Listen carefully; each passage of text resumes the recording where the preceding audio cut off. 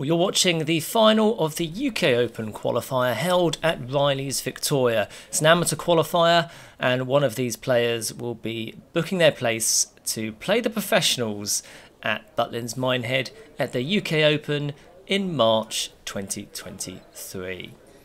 Fantastic final in store here between two very talented players. They've been nothing but impressive this afternoon, it has to be said. They've been absolutely brilliant, and I've done a lot of these tournaments uh, over the years, uh, especially at Victoria, and I have to say, both White and Gurney have produced some of the best darts that I've seen at uh, a qualifying event such as this. So we're going to tell you a bit more about those players shortly. Best of nine legs in order to replicate the UK Open format of the early rounds, and it'll be Gurney who is going to get us underway winning the bullseye. First five legs. They are five legs away potentially from place at Butlins Minehead in that elite field and a nice ton for Gurney to kick us off. 115 players entered this event, kicked off at 1 o'clock. This is being filmed at around 8.30.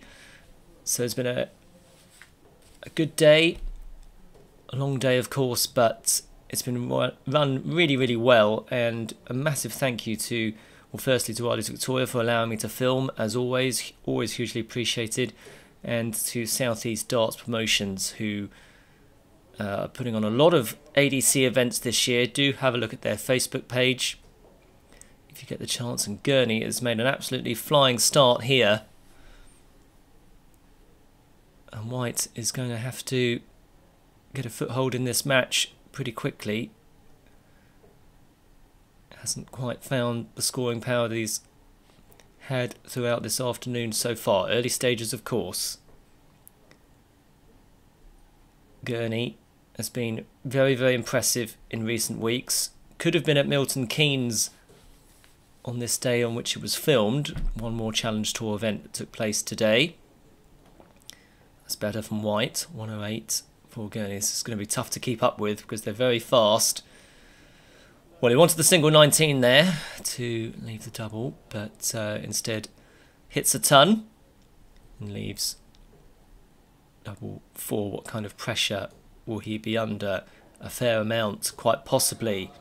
White fills it up. That will uh, settle him down. Double eight though for Gurney. He finds it first time. 16 darter to kick us off and a hold of throw. That will settle Gurney's nerves. He's on a bit of a crest of the wave at the moment. He had a very good Q School. Didn't win a card, of course, which is why he's here. But finished 31st on the order of merit, which is no mean feat, really. Six wins in stage one, and a further seven wins in stage two. Standard of that event continues to go up, as we know. Uh, so to get any victories at all is is a very impressive achievement. White didn't go to Q school, but did last year and is certainly targeting that in 12 months' time. Looks to have settled here in this second leg. Leaves a ton after nine darts. The scoring now is returned for White, which has got him to this stage. He's been very impressive all day. He's from Oxfordshire. The tops tops there. I'll tell you a bit more about White in the next leg. Gurney will just have to regroup here for the third leg because White has plenty of time on his side.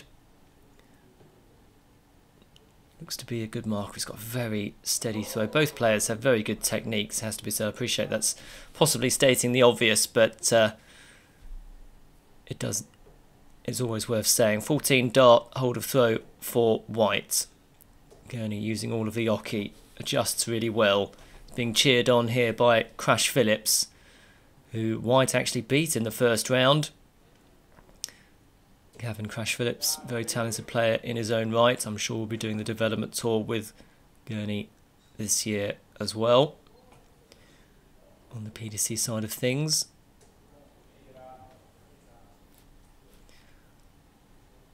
Another. So we're just sorting out the scorecard there.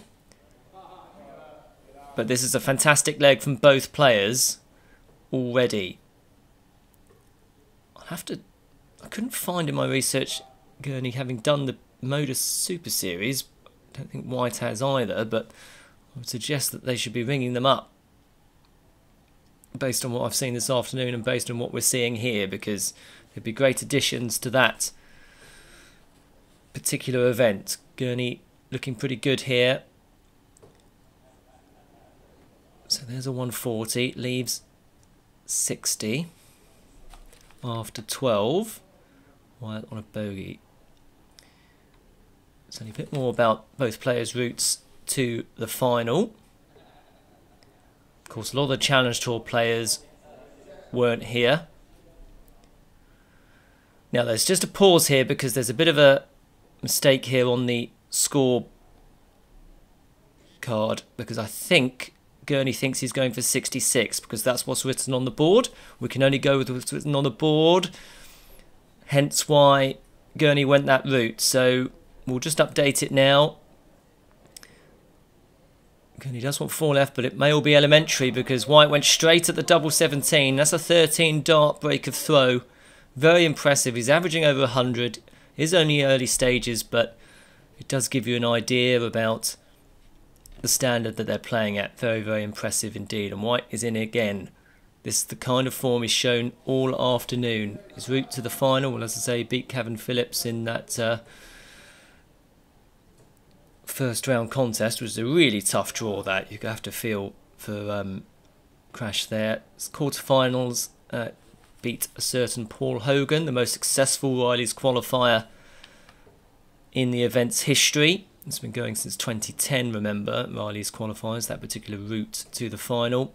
And then overcame a late comeback from Alex Harrison in his semi-final. Last leg decider, 4-3 victor in that one. White is in again. This is unbelievable. White being cheered on by his teammates. Have all travelled up together from Oxfordshire. Well, it's being played at a a really, really good pace. This it's hard hard to keep up.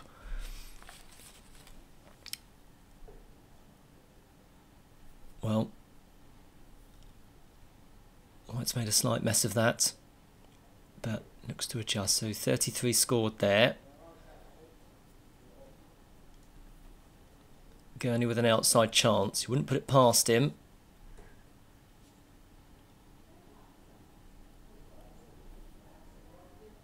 Needs a treble 19. And leaves tops if the 51 doesn't go.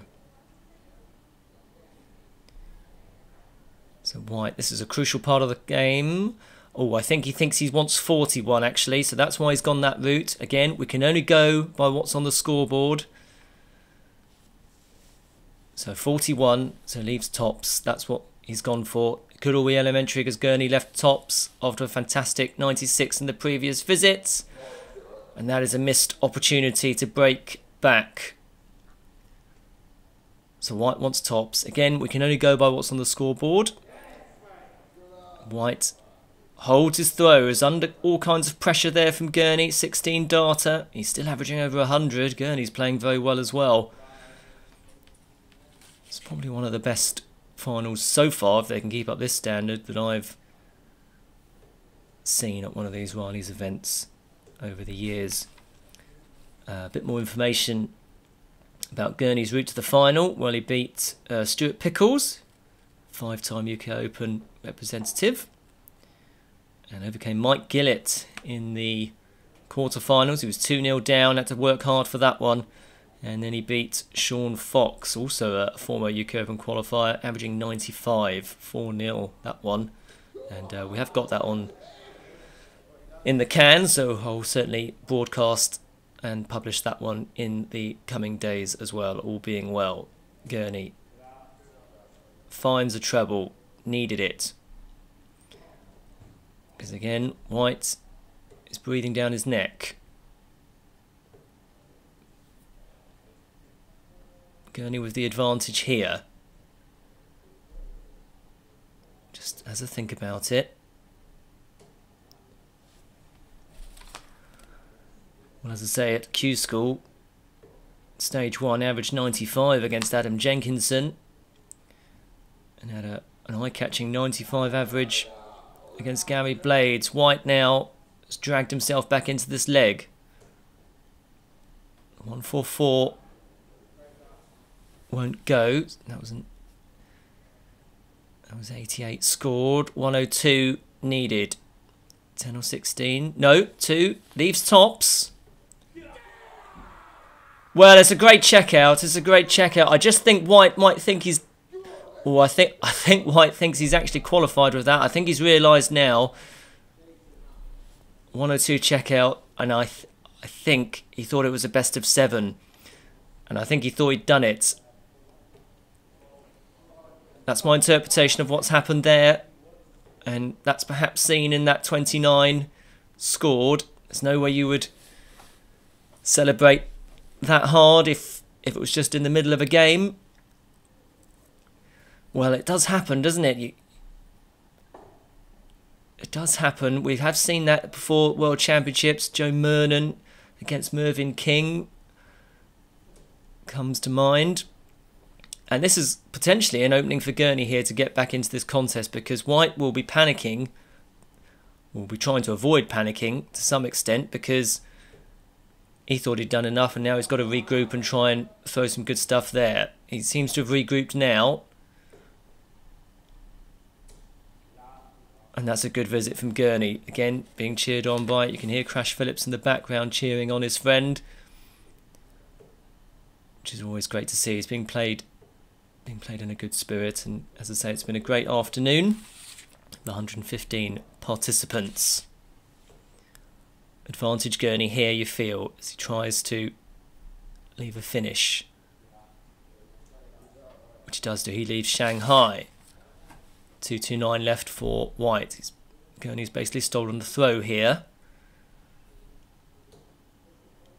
Well, this is some way to get back into the leg. And you just consider the, the emotions that White's going through to hit that 180 under that kind of pressure. It's very impressive indeed. And well, Gurney leaves 80 if this 49 doesn't go. And I think there's just a mistake on the scorecard because I think White thinks he has 50 left, so we can only go on that. So those are actually two tournament darts that have gone there. 80 for Gurney to drag himself back into this one and keep his hopes alive. Misses top, so White wants double 10 for a place at Butlins Minehead. Double 5. No, chooses to split it. That's a gamble. Pays off though. It pays off. Stuart White is going to the UK Open as a Riley's amateur qualifier. He wins this event at Riley's Victoria. A great performance, 94 average in the end. Commiserations to Lewis Gurney, player very much in the ascendancy. Do watch out for him. I think he's definitely going to be one to watch. But congratulations to Stuart White and thank you for watching.